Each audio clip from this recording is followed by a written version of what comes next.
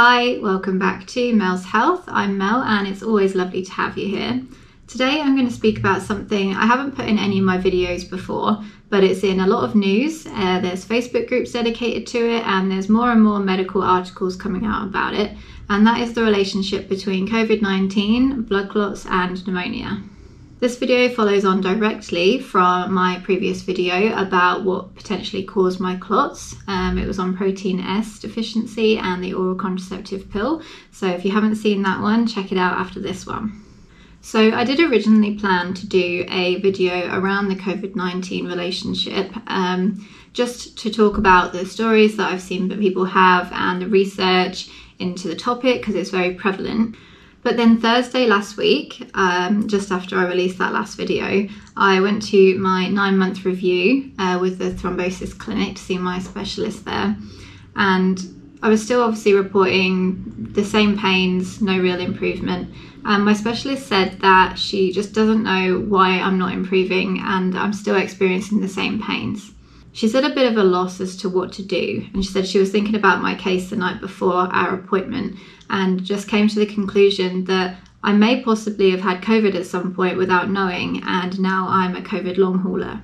She said the only people that she has seen who have any kind of similarity to the things that I'm reporting and any kind of similar cases have been in those that are suffering long term effects from having a positive COVID infection. Whilst we were sat in the appointment, we asked the question of if COVID didn't exist, how many patients have you seen that report similar things to me or have the same experience and prolonged pain? And she said she's never seen it, not for this long. It's, it makes no sense to her, and she's at a bit of a loss as to what to do. So, the reason why I wanted to talk about that dreaded C word and uh, its relationship to pneumonia and blood clots is down to an experience that I had early last year. If you watched my initial video, my intro video back in December, you will have seen that I had an absolutely horrendous 2020. It started off terribly and then it just progressively got even worse. But in late February 2020, when COVID wasn't really a huge deal, where I am in BC, Canada, lockdown 1.0 hadn't happened yet, we were still living the old normal, nothing had changed. I got very sick. And I hadn't been wiped out like that for quite a long time. It knocked me for six, this cold that I had. Um, it spread really fast through my place of work. We were all coming down with it. And I would describe it as probably one of the worst colds that I've had in living memory. So then lockdown 1.0 started for us here on the 16th of March, so a couple weeks later. And after working throughout lockdown and finding things like biking to work, lifting heavy objects, and generally doing any kind of exercise pretty difficult, I one day in April started to get a very severe pain in my kind of top right chest and back area. Now, those of you that have seen my previous videos will know that I went to the ER because of it, and I was told that I just had intercostal myalgia, which is pain in the muscles of the ribs. It was like pain and strain, and I was just told to go away and stretch and breathe through it. But of course, it didn't go away, and uh, I didn't go back to the ER at any point because we were mid pandemic and I thought I just had muscle strain. So I kind of stuck it out. It kind of subsided, pain went up and down, but it was something that I could manage from that point. But then most of you who have also seen my previous videos will know that exactly one month to the day, I ended up not even being able to support my own body weight, having to be carried to the ER by my fiance, who then wasn't allowed to come in with me, and ended up with a diagnosis of submassive pulmonary embolism and pneumonia. So that was back in May of 2020. There's so much out there now online in regards to people in hospital who have COVID and also have pneumonia, and that term, COVID pneumonia, is reported on daily. COVID pneumonia is completely different to other pneumonia on how it spreads around the lungs. Medical research into the difference between them shows that COVID pneumonia is slow acting and it kind of spreads like a wildfire through the lungs.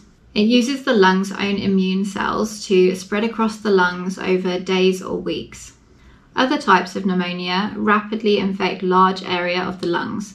And I actually had pneumonia when I was nine, and it seemed like it was a bit more of an instant thing back then. I may have been a bit unwell, but all I remember is I left my year five classroom with what felt like a bit of a stitch. And then I went to the cloakroom and one of my friends made me laugh and it was so painful to laugh. I just ended up falling onto the floor holding my side until an adult came and helped me. After seeing my GP and then got referred to a hospital for an x ray, I was diagnosed with pneumonia. the lung x ray that I had back then, I had one white lung and one black lung, like this. Um, and it just seemed very quick from the initial pain to it taking over an entire lung and then me being hospitalized and then there for a week. Last year, I didn't get anything that resembled that at all.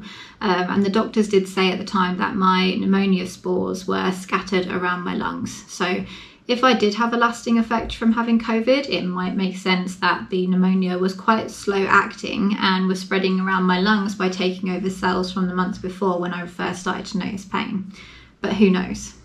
So I had a COVID test when I was in hospital in the May, but obviously by that point I was negative because if the cold that I did have back in February was COVID, it was long gone by that point. I also don't think the antibody testing was readily available at that point either. But at my appointment last Thursday, my doctor did send me straight down for some COVID serology testing just to see if there is anything left in me. We all know the likelihood of me getting a positive result for that test is like seriously, seriously low in regards to the antibodies still being there. Um, but the test has been done, and when I get the results, I will share them in some form through a YouTube video.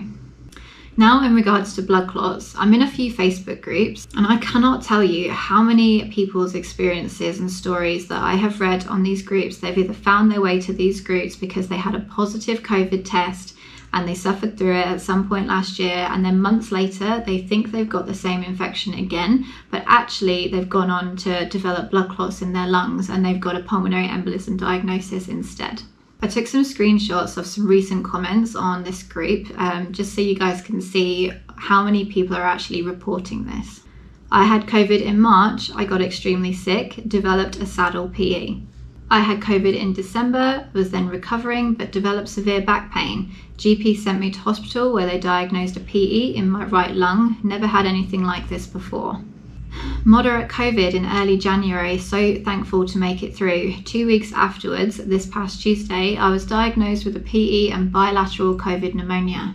COVID, December 15th, positive. Worse, December 23rd, had pneumonia. Went through a course of steroids and antibiotics, breathing never got better. January 7th, had chest pain, high heart rate, very short of breath, and diagnosed with PE. As you can see, there are so many similar symptoms to the COVID uh, symptoms than there are to pulmonary embolism and pneumonia as well. Fever, chills, difficulty breathing, coughing, fatigue, feelings of anxiety and dizziness, and so on. I have linked a bunch of other videos and information in the description below because I'm not a medical professional and I cannot give advice or speak about these things in depth, but there is increasingly more information about why people who have had COVID are now developing blood clots. And it's not all down to just people being bedridden in hospital for a long time either. It's not just the immobilization factor. There's a doctor on YouTube, Dr. Mike Hansen, has his own channel, and he was stating in a recent video that the amount, amount of patients him and his colleagues are seeing across the country, either suffering or dying from COVID related blood clotting, is unprecedented. He also said it's not just him and his colleagues in the US that are having this experience, and he brought up a couple of studies which I've managed to find myself. One was a Dutch study that said out of 184 patients in ICU with COVID pneumonia, 20% of them also had clotting issues. There is also another study out of Wuhan where 25% of hospitalized patients had blood clots. But why is COVID causing more blood clots than usual? According to the doctors on YouTube that I've watched and things that I've read online, it is extremely complicated and they still don't have it completely figured out. But going from what I've seen on these doctors' YouTube videos and things that I've read online, I'm just going to try and do like an easy to understand version of what they've learned so far. So the virus enters the tiny air sacs in our lungs, known as the alveolar cells, via an ACE2 receptor, which is a protein that provides the entry point for the virus by allowing it to hook on and infect cells. When this happens, it causes the cell to have less of that ACE2 receptor on its surface, and that causes inflammation, formation of clots, and constriction of blood vessels going to the lungs. If you have just one of those things, it results in low oxygen levels. So, if you're suffering all three, then you can just imagine what the patient is going through. The way oxygen gets into our blood from your alveoli is to diffuse from those tiny sacs into our capillaries. But in this situation, there's destruction in the capillaries, just like the alveoli with the inflammation and formation of clots, etc. The layer around the capillaries is known as the endothelium. Now that also has ACE2 receptors, just like the alveoli, and so that's a trigger for clotting. There have been some medical studies where they look at autopsies of COVID patients and they have found blood clots in their lungs and just beneath the skin. And there's now studies coming out from those that are from living patients with COVID who also have blood clots just underneath the skin. As you can see, it is a real science lesson trying to wrap your head around what these doctors are trying to figure out on a daily basis the relationship between COVID and other conditions but it is really interesting given the amount of people that I see on different online platforms that are dealing with pulmonary embolism diagnosis after having COVID. Just before I end this video, I just want to touch on any of those of you that are watching out there who have had the vaccine and are now suffering ill effects. In these same groups online, I'm seeing people joining because they've had the vaccine and they're now being diagnosed with blood clots.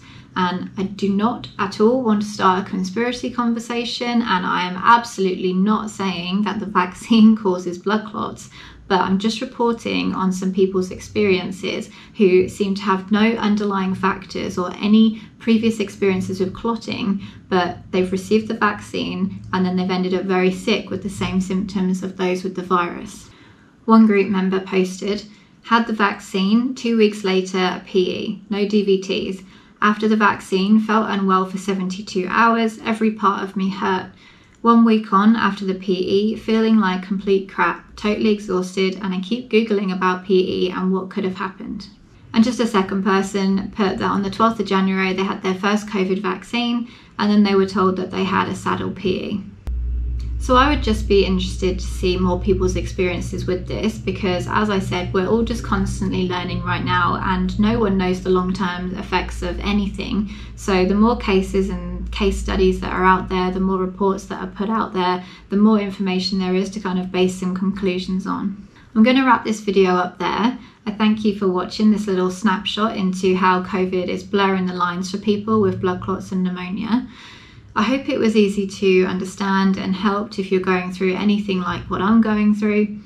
But please do check out the links in the description for more in depth information around things that I've touched on today.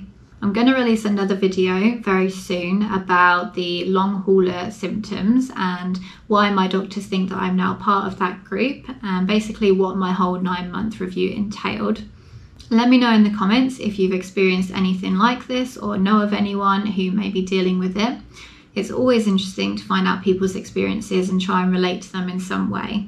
Hit the like button if you found it informative and subscribe to the channel for more content coming soon.